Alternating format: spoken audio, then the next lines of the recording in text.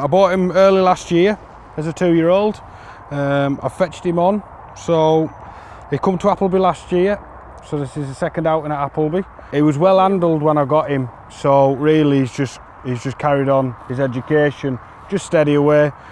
We have about 17 or 18, well 18 now because we had a foal this morning. They're all in good condition.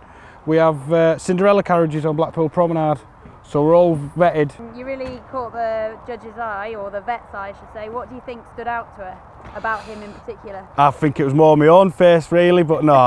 um, I think it was his markings and his good temperament. Yeah, great temperament and uh, driving really well, uh, not showing a sign of lameness. No, Thanks very much, Colin. I'm really delighted uh, to give you the award. So, there's your certificate. thank you Suzanne.